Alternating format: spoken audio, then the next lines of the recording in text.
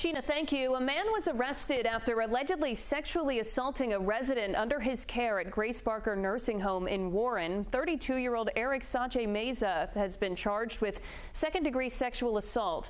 According to police, they were called to the nursing home on July 4th for a sexual assault complaint.